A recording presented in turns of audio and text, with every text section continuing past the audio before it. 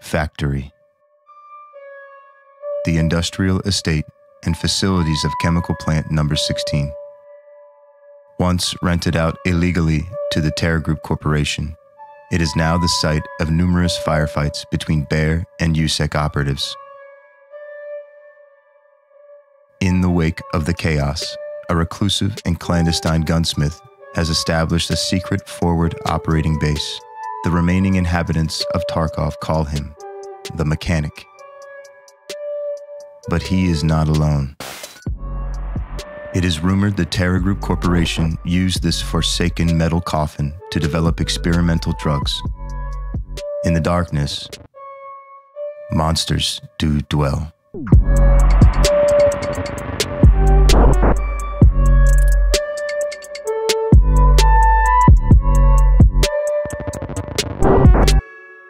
Everyone, and welcome to the place that gives me the most thrills and chills just in time for spooky season. Factory isn't my favorite map, but we can always dress it up as a good time with a little Tarkov lore and movie magic. I have multiple raid breakdowns for you today and a little bonus clip on another map if you stick around until the end. As you can see, I like to jump out as quickly as possible since the raid timer on Factory is the shortest of all, 20 short minutes. I want to use all my senses and proceed with caution. All player spawns are nearby in this close quarters map. I'll be completing two tasks. Postman Pat and Chemical Part 3. Here I am picking up the postman's letter first since I have a great spawn for it. It's hidden inside this poor soul's jacket. You'll see a theme of quick stops to listen to the in-game directional audio and short sprints to reposition. I need to move quickly and draw as little attention to myself as possible.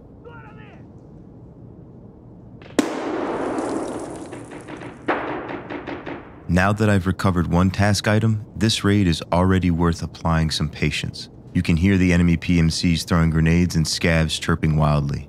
I'm currently facing the direction in which I need to move for the chemical task inside the offices. I haven't heard much commotion that way, so it's time to move.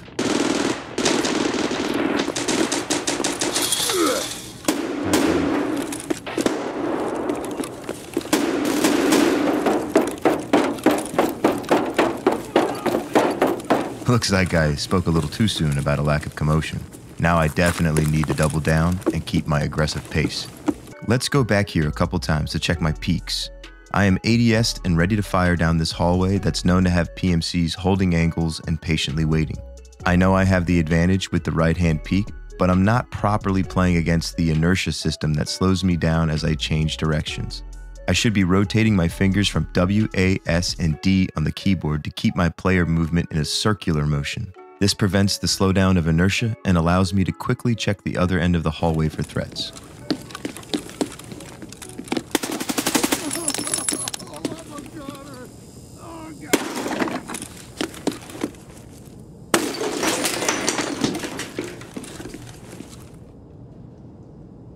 Okay, time to go back and watch that one again. A lot of luck here with a shot that hit this PMC between the eyes, but I had the element of surprise and he didn't have time to react. My reaction time was excellent as I move across and out of sight as quickly as possible. Point fire is an awesome alternative to ADS when in firefights. You miss 100% of the shots you don't take. I proceed to kick down the wrong door, but quickly corrected and pick up the chemical inside the filing cabinet.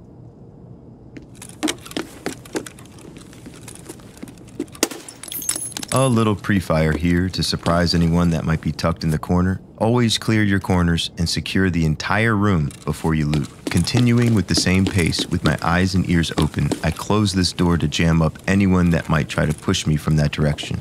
After a successful player kill, I always assume there are more in that same squad and my location has been called out.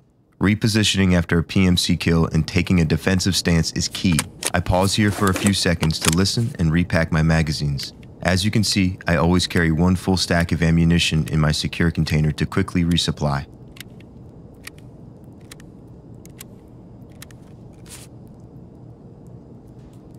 Not a creature was stirring, not even a mouse. Wait, wrong holiday. It's time to extract at gate 3.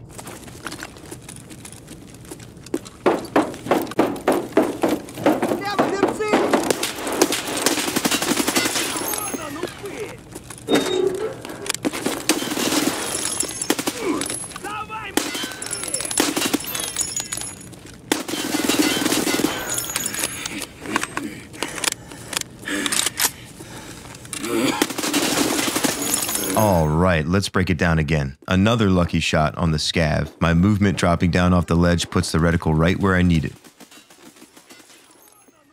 Now, here I want you to listen closely.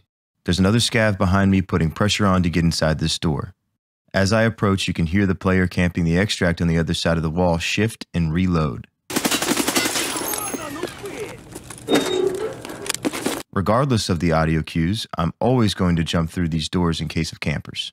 This movement saves me from a lucky headshot, and now our dance begins. I'm pre-firing around these corners to keep the pressure on. Luckily, he has a bullet hose and only 17 round magazines. His weapon is hard to control and puts him at a disadvantage with frequent reloading. With a full magazine, I commit to my position and crouch down for better recoil control. He makes the grave mistake of jumping as he pushes, and I cut him down. Now it's time to extract. Who's camping? Come on now. I quickly heal myself since I have a heavy and a light bleed. There's no time to fully recover or perform surgery on my limbs. In my haste, I hit the wrong key and accidentally leave behind his dog tag. This firefight may have garnered a lot of attention to any PMCs remaining or player scavs that could have spawned in. I reload my last full magazine and carefully check my surroundings as I enter the final extraction room, pre-firing the corners in case of yet another camper. And of course, closing the doors behind me to impede anyone sprinting to intercept my departure. Ah, yes, a successful extraction. Two PMCs and two tasks down. It's time to turn them in and push my luck. When playing in a squad, I like to hit these little factory runs if I die early on in the raid with my buddies. They're very quick, and tasks like Stirrup are perfect little challenges. Stirrup requires you to kill three players with only a pistol.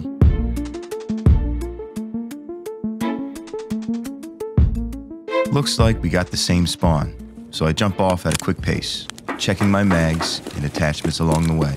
I look past this forklift for any PMCs rushing in before heading to the offices.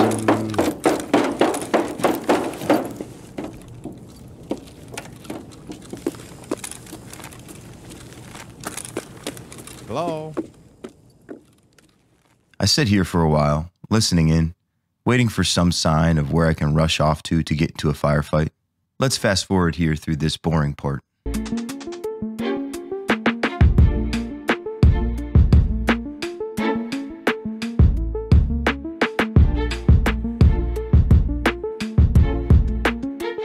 I've been hearing some footsteps, but it just sounds like scavs patrolling. There was a bit of gunfire, but it stopped almost as soon as it started. I couldn't figure out what direction it was in. I know there's players afoot, just a little more patience here. Check their mag. Oh.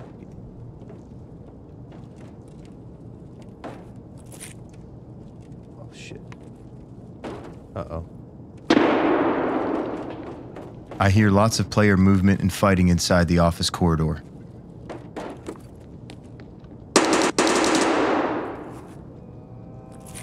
That groaning sound after the gunshots is another player dying. Time to engage. Yes, Ghostface. We're trying to get our factory pistol. Well, not factory pistol, but pistol kills. I have a tendency to freeze up at moments like this. In hindsight, I should have actively been creeping towards the end of this hall a lot sooner. If a player rushes to open the door, they will have the advantage of lean peeking to minimize their body as a target. In short, my fear has left me extremely exposed in the middle of this sky bridge. Could be right in the offices.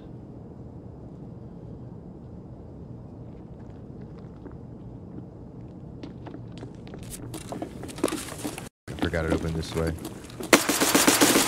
Ah, no! Well, as they say, all is fair in love and war. GG's, guys. Let's check the rewind. I completely botched opening this door, and it cost me precious milliseconds on my ambush. Their helmets saved both of their lives. Sometimes we Tarkov, other times we get Tarkoved. Let's see what other clips we can find.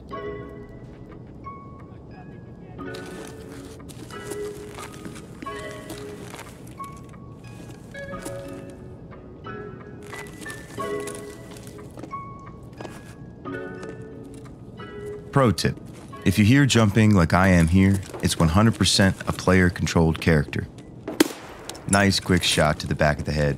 One kill down.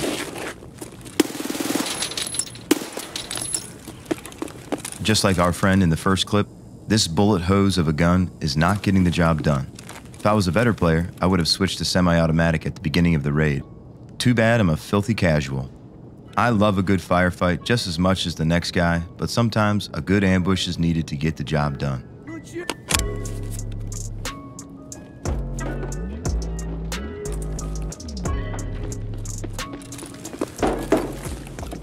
My opponent here has traveled all the way across the catwalk right outside the offices and onto the skyway to close that door. He shoots through the door in an attempt to catch me by surprise. I get jumped by a scav and then head to a more defensive position.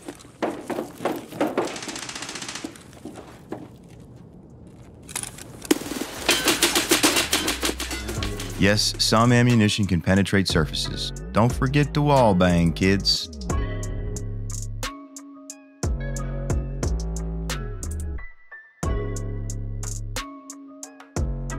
Different spawn this time. PMCs can spawn down this hallway and the shorter hallway to the left.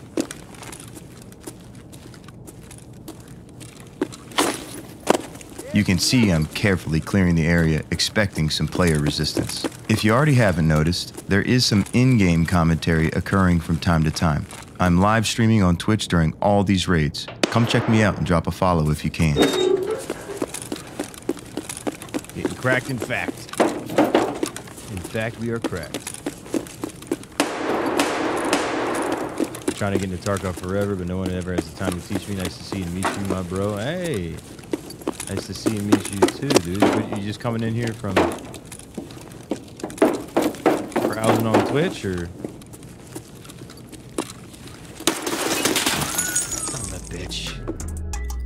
The Discord links are in my bio. Well, you got a nice community of streamers. Actually, the guys I have deafened right now who are on a shoreline raid, No, no. Just just wondering. No, I, I don't need it. all of those guys are new to the Discord, you know, just like came in like you or saw my YouTube videos or saw Tony's streams and we are now all playing together. So you're a member when you say you are. Please join us. We'd love to have you. Good point there, Twitch Nate. Don't just follow me here and on Twitch, join us on the Discord. Links are in the description of this video. Well, the previous death was unfortunate. That gent was sitting in the classic spot above the stairs by the offices waiting to ambush. GG's. He got the job done. This is the last clip on Factory. One more big lesson to learn while trying to PvP with only a pistol. Here I have an FN98, one of my favorite sidearms. These catwalks above the factory floor are an excellent way to ambush players walking up from the basement areas. There's going to be some quick editing cuts to speed this clip up. I'm trying to open doors to cause confusion while using the advantages of fast movement since I'm not weighed down by a heavy weapon or armor.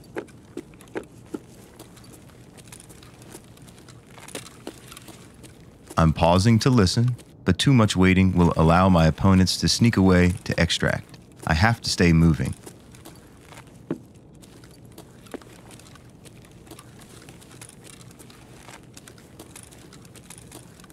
I'm hearing faint noises, probably pivoting as someone is adjusting to listen to my footsteps. Again, my fear is causing some hesitancy. I don't have any advantage with my kit, and anyone down below is already aware of my presence.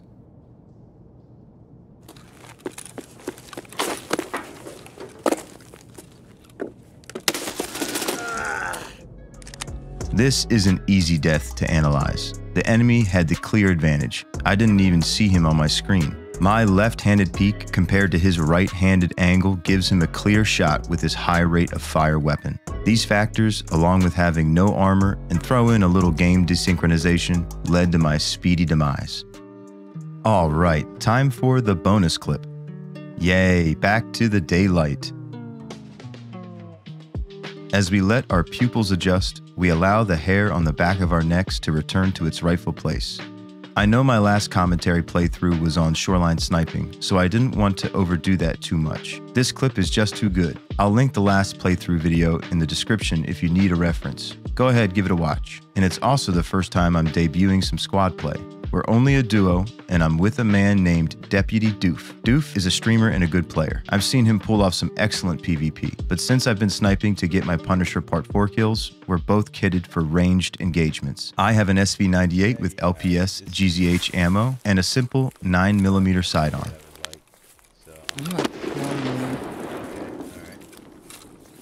Where's that at?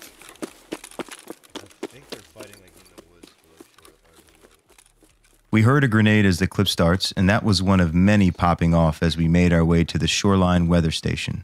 We're going to try and third party these gentlemen who've been in a heated firefight. I apologize for the sound quality of my in game voice. This was before I upgraded my setup to a better mic. Doof comes in clear enough, but try not to focus too much on what I'm saying. It's not worth it. I'm also recording with G4 software that has a variable frame rate. This causes the sound to have a delay from within the editing booth. And don't worry, I've started to use the right recording software so this doesn't happen anymore in my videos. This clip is just an old one, so please just bear with me. It's worth it.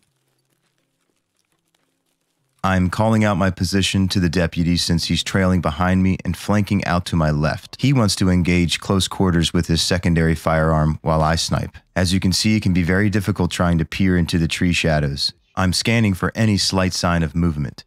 We're going to do a little fast forwarding to speed this up.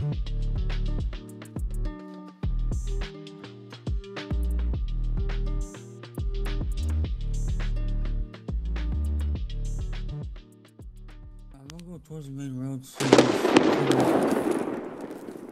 Yeah, you're right. Construction. I'm going far left.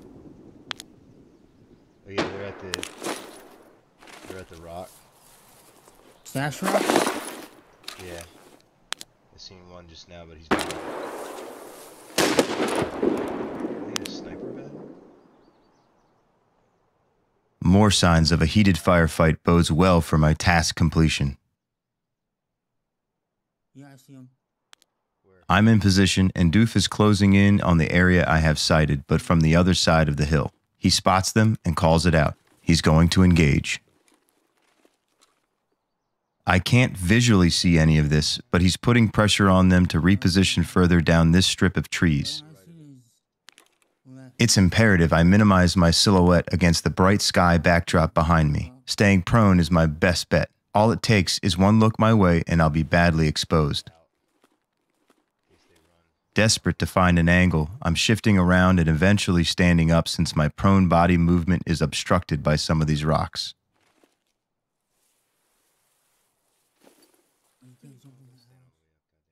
There, we've spotted our prey. I patiently wait as my weapon sway places the reticle just below his helmet. I want to compensate for my high ground positioning, knowing from this distance my bullet will fly straight and true. Beautiful. Let's take another quick look at that.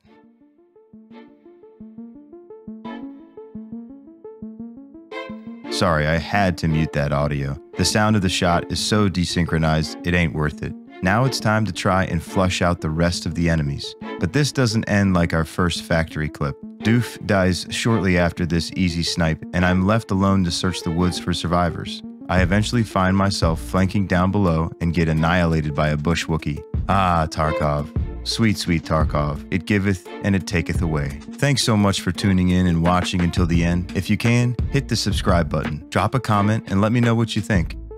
You can suggest another map or task you like to see, or just show some love. Until next time.